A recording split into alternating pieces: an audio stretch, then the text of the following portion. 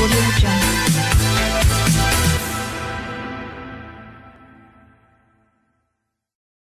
Bueno, continuamos con charlas de café y estamos ahora desde la confitería La Perla que muy amablemente nos brinda este espacio hermoso para hacer nuestras entrevistas. Estamos acá en este patio muy lindo con un aire hermoso que nos está regalando Abril. Tenemos ahora una invitada que yo tenía muchas ganas de tener, a una mujer que hemos tenido en charlas de café en sus diferentes roles y que ahora la invitamos en, calidad de escritora porque ha presentado su, su primer libro, que es una novela hermosísima que me regaló hace unas, miradas, unas semanas y que yo ya leí, que es Los Álamos juraron reencontrarnos y estamos hablando de María Virginia Goicoechea, que pronto va a presentar este libro en Mulasi, pero que ha decidido y ha elegido charlas de café para una, una exclusiva previa a la presentación, ¿verdad? ¿Cómo estás? Hola, ¿qué tal, Carlita? Hola, Marita. Hola toda tu gente linda que está del otro lado. Sí, la verdad que eh, es cierto lo que vos decís, nos hemos ido encontrando a través de, varios roles y de distintos momentos de la vida y, creo que, que, se generan esos, esos eh, vínculos genuinos, esos vínculos de afecto, de respeto, que así que para mí es un placer estar hoy acá con vos, con, con Marita, me encanta, me encanta. Y te, acompañamos un poco en el detrás de escena, de, también en los últimos pasos de, este libro, cuando vos ya hiciste público que estaba pronto a salir, estábamos todos ansiosos, ¿no? Somos vecinas en Claro, le decíamos, Virgi, tenés el libro, podemos pasar, ¿cuándo, lo, ¿cuándo hacemos la nota? Estamos desde diciembre persiguiéndola por esto, y bueno, finalmente salió, aquí está. Primero contame cuáles son tus sensaciones sensaciones ante este, esto, digamos, de, consolidar un sueño que tiene muchísimos años por detrás, muchas idas y vueltas, ahora vamos a desandar un poco ese camino, pero verlo ya, tenerlo como un objeto hecho realidad, ¿qué te provoca? Y eh, fue una emoción muy grande cuando unos amigos, eh, Mónica y Miguel, eh, que está, ellos están en Claromecó, yo les comento que, que ya estaba, que en la editorial me avisaron que las cajas estaban listas, entonces yo estaba con ellos cuando me llaman y me dicen, nosotros viajamos la semana que viene a Buenos Aires, así que te los traemos en mano. Que fueron hasta la editorial, los buscaron y me los trajeron. Y cuando llegó a mi casa, me acuerdo que después la tuve que llamar a Mónica para darle las gracias por lo que había hecho, porque no le dije ni gracias ni buenas noches. emoción. Estaba choqueada. Quedé choqueada y además no podía dejar de llorar, porque cuando abrí la primera caja y los vi, era como una emoción tan grande, pero tan grande. Eh, las chicas, eh, otras amigas escritoras con las que hemos generado un vínculo hermoso y, que además estábamos conectadas eh, online siguiéndonos en todo el proceso y apoyándonos, todas me decían lo mismo. Cuando llegue Virginia, no. sabes lo que vas a sentir. Cuando llegue Virginia, no sabes lo que vas a un nuevo hijo, ¿verdad? Eso dice. De un hijo, creo, totalmente distinto, ¿no? porque quienes hemos parido hijos eh, es esa espera de todo el tiempo, después eh, hasta el dolor para poder tenerlos en brazos. Eh, hay un montón. En el caso de esto es algo que uno disfruta absolutamente de todo el proceso, de todo el proceso, que son procesos largos, eh, son procesos de mucho trabajo, de mucho esfuerzo personal y de todos los que te rodean, porque tu madre, por ejemplo, también es una de las personas que durante todo el tiempo yo iba contando algo de que estaba la prueba de galera y era una de las personas que me mandaba un WhatsApp y me decía, Virgi, ¿cómo vas? ¿Va todo bien? ¿Cuánto falta? ¿Estás contenta? ¿Qué sentir? Y esas pequeñas cosas suman un montón. Suman muchísimo y son las que te hacen que, porque después cuando llega esto, está todo ese cúmulo de todo, no solo vos, sino toda esa gente que durante todo el proceso que hasta querías tirarlo a veces por la, por la cabeza porque decís, no, hay un momento, a mí me pasó en la prueba de galera, que estaba una noche eh, corrigiendo y, dije, no puede ser que la prueba de galera sea algo tan intenso. Yo creí y les decía a los de la editorial, cuando me mandaron el ejemplar de prueba, yo dije, ay, qué bueno, me lo mandan para alimentar mi ego. ¿Qué para alimentar mi ego? Los errores que te saltan en una prueba de galera son terribles, porque donde vos lo ves acá es totalmente distinto a la computadora, totalmente distinto. Y una noche yo estaba reangustiada y era casi la madrugada y conectado estaba un primo, que también es colega y es escritor, como es Gabriel Sode, y Gabriel le digo, ay Gabriel, llorando casi, ¿no? Lo dejo, digo, me parece que no llego al final. Esto, porque estabas en la instancia final para claro, Sí, sí, y Gabriel, desde su casa, que vive muy lejos de la mía, me dice, ¿tenés un café? ¿Tenés para un café? Y era la madrugada. Le digo, sí, bueno, dame 15 minutos y estoy en tu casa. Y se quedó casi toda la noche leyéndomelo, eh, me leía, me leía en voz alta, y dale Virginia, vamos, dale, lo tenés que terminar. Importante esos gestos. Esos gestos valen muchísimo, porque quien hace eso lo hace solo desde el, único lugar que se puede hacer, desde el amor, desde el corazón. Entonces, cuando uno llega a esto eh, y llega con un proceso, por ejemplo, la tapa eh, la esposa de un amigo, de un correligionario, eh, me dice que yo no la conocía casi, me dice, Virginia, ¿me dejas? Yo, además de arquitecta, soy artista plástica me dejas que te, para mí sería maravilloso ilustrarte la tapa. Y yo no la conocía, yo soy una artista plástica bayense, pero se ofreció desde el corazón. Así quería ser parte. Quería ser parte. Y después me contó que ella en su infancia tenía, ella la había eh, eh, sacudido el nombre porque ella con su papá tenía una historia muy fuerte con los álamos del valle. Entonces era la persona que tenía que ilustrar la tapa. Era parte de la historia. Se dan esas cosas eh, maravillosas. Virgi, eh, yo terminé de leer este libro hace muy poquito y, para mí este libro, si, tuviese que hacer un solo comentario, tiene eso que hacen para mí, en lo personal, a los libros. Es inolvidable, que es que la historia me resultó totalmente verídica, yo le puse cara a los personajes y quisiera seguir sabiendo de, ellos, inclusive se lo decía Virginia antes de comenzar la nota, para mí la protagonista tiene su cara, tal vez porque yo la conozco, tal vez porque muchos eh, datos me resultaron muy familiares, hasta me imaginé a personajes que tienen nombres similares a personajes de desarrollos en la novela, yo les puse cara también de gente que conozco. Bueno, esa fue mi historia, la que yo me quise hacer con este libro. Eh, pero contame cómo nace esta historia, que fue mutando, porque no era novela en sus inicios. ¿Cómo y cuándo nace? Mira, esto nace hace alrededor de ocho años. Yo escribía y solía publicar en el suplemento Culturales de La Voz del Pueblo, que era el diario donde yo trabajé durante más de 20 años. Eh, y yo en el Culturales, con un seudónimo como María Cortés, publicaba relatos. Relatos cortos, así, y eso sí, eran, generalmente eran autobiográficos. Por ahí no míos, pero sí de la historia de una amiga. Me lo contó una amiga, el famoso me lo contó, una, contó una amiga. Bueno, y luego, pero eran relatos cortos. Siempre eso fue lo que escribí.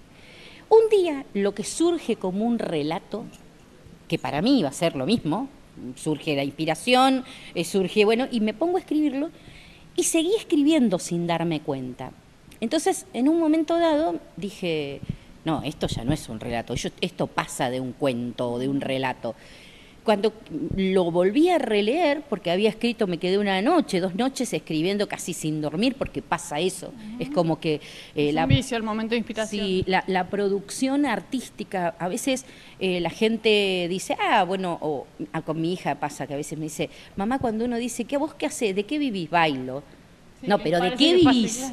Bailo, bailo, porque para bailar yo tengo que estudiar, tengo que trabajar y tengo que dedicar horas para que después la performance sea 30 segundos. Con esto pasa lo mismo, es decir, eh, como quien pinta, vos por ahí tenés otro trabajo y te quedaste una noche sin dormir porque no podés dejar de escribir, y, eso pasa. Y, bueno, y así empezó, y yo dije, bueno, era como casi tres capítulos, porque donde empecé a ver como que las acciones empezaban y terminaban y eran como capítulos, pero dije, bueno, a los periodistas la facultad no nos prepara para, para escribir novela. Aprendemos texto narrativo, sí, pero eh, es un género de los géneros mayores, la novela tiene todo un, una red y, una organización que es totalmente distinta al resto. Entonces, bueno, ahí dije, bueno, la paré, dije, porque si esto está tomando otro color, tenemos que aprender de qué se trata. Y hice durante, en ese momento, online, con una escritora española, Clara Tiscar, un curso de cómo escribir novela, que lo que me dio fueron herramientas para la organización de la estructura de la novela. Porque, y después fue, eh, yo trabajaba, estaba criando mis hijas, así que había tiempo que la dejaba, eh, la retomé eh, con fuerza hará dos años, que fue cuando finalmente la termino, cuando le pongo un fin que después no fue el fin, pero cuando le puse lo que yo creía un final, eh, y, así se fue dando. Es decir, eh, gracias a, ese, eh, a esas herramientas que me brindaron, yo pude al menos poder decir cómo armo una novela. La novela tiene algo que a mí me fascina, que es el andamiaje del proceso de investigación. El proceso de investigación. Esto está situado en una época que tiene muchas, eh, muchos datos también políticos y, demás, y, tiene que tener veracidad. Exactamente, porque yo digo, vos podés escribir una línea sobre una época, pero esa línea, si vos le pusiste algo histórico, tiene que ser exacto. Después el resto sí es tu imaginación. Hablemos un poco de la trama, hablemos un poco de los protagonistas, de Emma y, de Miguel, con los que yo hubiese tenido ganas de charlar por momentos. Yo, yo los quería de alguna manera entrevistar a ellos si me hubiese dejado. Pero bueno, presentámelos vos, presentáselos a la gente. Eh, Emma y Miguel em, son dos eh, personas em, que cuando empieza la novela tienen ya más de 50 años. Eh, y, recorren su historia hacia adelante y hacia atrás, desde, y ahí es donde aparece todo lo histórico que vos mencionabas, en el, en el pasado de ellos, todo lo que fue la militancia universitaria, en una época que a mi generación, yo tengo 55 años, nos marcó fuertemente y nos marcó eh, la vida y las utopías, como fue el volver a la democracia. Creo que eh, siempre digo que en la época en la que volvimos a la democracia y éramos adolescentes, jóvenes, es decir, no solo militábamos en un partido político, salimos a militar la vida. Era tantas las ganas que teníamos de saber, de, vivir, de sentir esa libertad, porque habíamos transcurrido hasta, aunque viviésemos en Tres Arroyos, eh, y parecía que no pasaba nada, era mentira, eso era una pátina social, pero en realidad teníamos hasta libros que nos habían prohibido de historia, pequeñas cosas, no podíamos salir si no salíamos con el documento porque teníamos miedo, es decir, había pequeñas cosas, sí, y después, con los años, nos fuimos enterando que acá también habían arrancado de su casa jóvenes, se habían llevado secuestrados a padres, y nos fuimos enterando en el transcurso del tiempo. Es decir, a Tres Arroyos le pasó lo mismo que al resto del país. No, fuimos, no somos una isla exclusiva. Entonces, bueno, la novela lo que intenta reflejar son esas utopías de los 80, porque estábamos llenos de utopías, estábamos llenos de sueños, porque soñábamos con esa Argentina maravillosa que, sabía que sabíamos que nos merecíamos. Entonces había que salir a militar en lo que fuera, en lo que sintiéramos, pero había que salir a militar.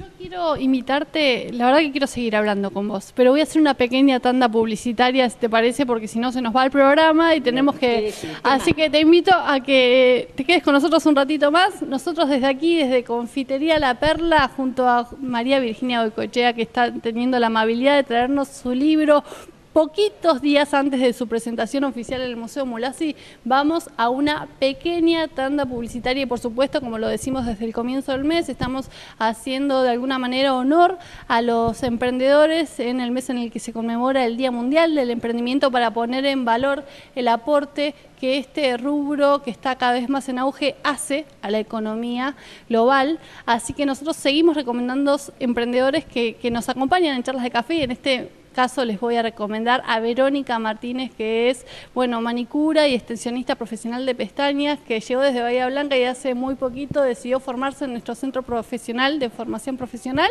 y que hace unos trabajos fantásticos. Así que si vos estás pensando en hacerte las manos, en por qué no darle una renovación a tu mirada a través de extensiones de pestañas, yo te recomiendo que te acerques a Verónica Martínez.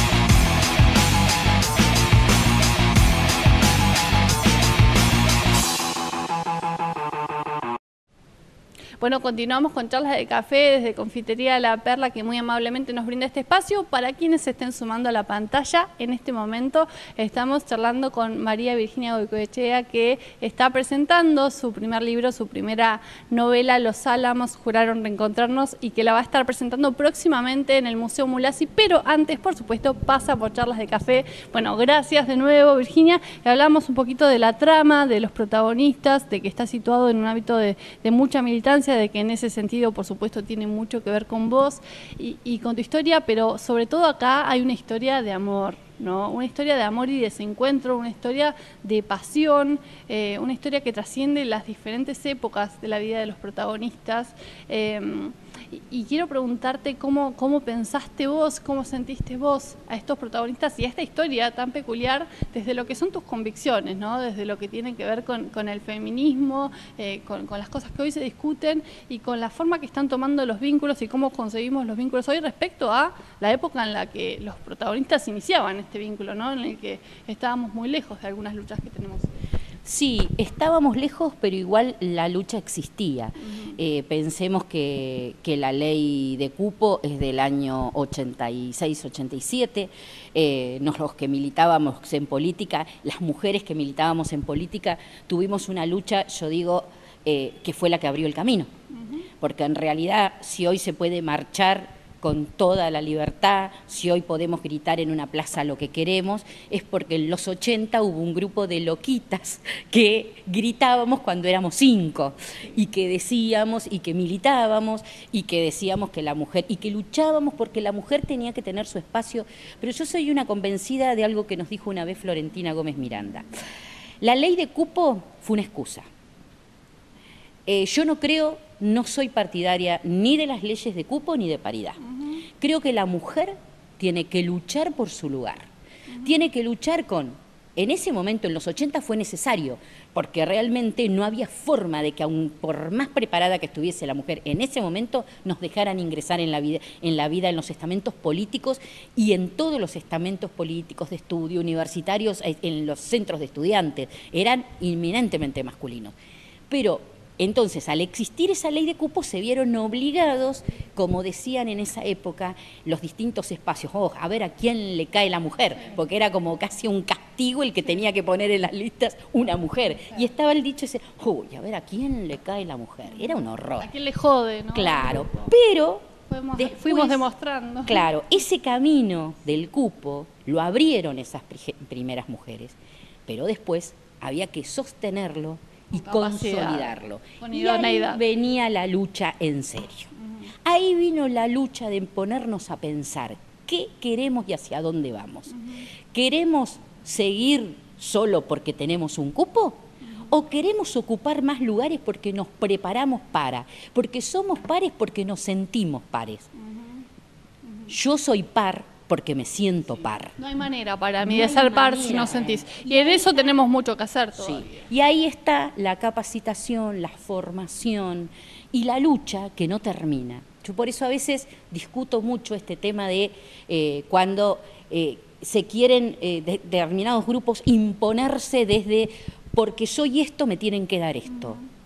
Yo no soy de esa idea yo soy esto y me tengo que abrir camino para que no importe lo que sea, sino mi capacidad. Y ese es el camino que abrió el cupo. Depende, evidentemente a veces uno mira para atrás y decís cuánto nos falta, porque si el cupo, la ley de cupo es de 1987 aproximadamente, hoy estamos en el 2021. El camino recorrido es largo y de luchas permanentes y sin embargo yo no sé si hemos avanzado un paso. Pero ya ahora la responsabilidad en lo que tiene que ver con las mujeres no es del hombre, es de las mujeres. Porque a veces, y lamentablemente, la mayor adversaria que tiene una mujer es otra mujer, no un hombre. Entonces, eh, esos son los, conceptos que a veces tenemos que revertir porque la palabra sororidad es maravillosa, pero hay que saber aplicarla y vivirla. Y un poco a Emma la atraviesa todo eso, la atraviesa esa contradicción, que por un lado eh, está en determinados lugares porque eh, le corresponde, pero por otros lados lucha en su vida personal y en su vida militante por hacerse, ganarse un lugar por ella misma. Y Emma es una mujer que no vaciló en ir por sus convicciones, ¿no? Y, en, llevarse puesto al, que se cruzara en algún punto, pero eh, en ese camino se, guardó una fragilidad para ella eh, que tuvo un alto costo emocional. Sí, y yo creo que para mí eh, hay un valor que tiene en Los Álamos que em, ese sí te puedo decir que porque así lo vivo en mi vida, que es el valor de la amistad. Es decir, Emma, eh, Emma y Miguel, los dos eh, son personas, pero eso también, Marita también, que seguro va a coincidir conmigo, eh, en, en, los 80 el valor de la amistad era muy grande. el valor de la camaradería Eh, claro, no, no había esa agresión del anonimato, de somos amigos a través de una red y por eso te puedo decir que de todo. Eh, yo era tu amigo. Te venía a decir de frente, bueno, acá sucede mucho, ¿no? Los amigos de Emma la cuestionan en algún momento, ¿por qué te expones? ¿Por qué vas? Otra vez lo mismo. Le faltaba que le dijeran, pero vos sos o te haces. Totalmente. Y, así todo igual la acompañaba. Siempre, siempre, siempre, yo creo, y, sigue siendo así. Entonces, creo que, la historia de Emma y Miguel, eh, vos decís por ahí, eh, le pones caras conocidas y me encanta que digas eso, porque en realidad creo que eh, la historia de Emma y Miguel es una historia sin tiempo y es una historia de amor en la que todos podemos vivirla y todos por ahí de alguna manera la vivimos. Otra vez un colega me dice, para mí no son álamos, son pinos. Y le digo, qué bueno que me digas que para vos son pinos, para mí decir, pero tiene que ver con eso, tiene que ver con que eh, por eso te sentís identificación, porque en realidad tiene que ver con tu propia historia o con una historia que por ahí sabes de tu madre o de alguna de tus amigas, porque en realidad las historias de amor, por más que nos hagamos las fuertes, nos atraviesan absolutamente y visceralmente a todas. Están para reencontrarnos eh, y hacernos amigar de alguna manera con nuestra vulnerabilidad. Virgi, tenemos que despedirnos nosotros, pero no sin antes decirle a la gente que si quieren saber más, primero que si quieren poder comprar el libro, lo pueden hacer ya en Los Siete Locos. Los Siete Locos Museo Mulasi. Y segundo, que este miércoles eh, vas a estar haciendo allí la presentación oficial y que la gente puede ir, por supuesto, con todos los protocolos que están en marcha y que, bueno, que reservarse un espacio sobre todo porque hay una capacidad Por supuesto. Sí, a eso los invito. Y también eso es con amigos, porque lo hice con, lo hago con amigos. En el conversatorio va a ser con, Adolfo Olivera, que es alguien con quien yo, he compartido el periodismo desde los inicios en la vieja redacción acá de, de, Colón, cuando estaba el diario acá en Colón, así que tenemos años juntos de toda la vida compartidos. Y después eh, la voz de Carlos Martínez, que me va a acompañar, que él va a cantar para quienes saben lo que canta Carlos en especial y porque yo se lo pedí temas que tienen que ver con los álamos, pero que no son del repertorio de Carlos. Así que son totalmente distintos en género y repertorio a lo que están acostumbrados a escuchar a Carlos, y sin embargo, él lo, hizo. Se enseña que nos, vamos, nos vamos, hora, hora, hora. 19.30 en el Museo Mulasi el miércoles 14. Y, bueno, y, ojalá se animen a reencontrarse en los álamos. Muy bien. Muchísimas gracias, Virgi, por pasar por aquí. No, muchísimas gracias a vos. Así me despido con este libro que recomiendo y se pueden acercar el miércoles entonces allí a, presenciar la, presentación oficial. Me quedo sin tiempo, pero por favor, antes de despedirnos, cuidémonos. Ahora, más que nunca, es, es momento de cuidarnos entre todos. Así que los despido, pero los invito a reencontrarnos en la próxima edición de Charlas de Café.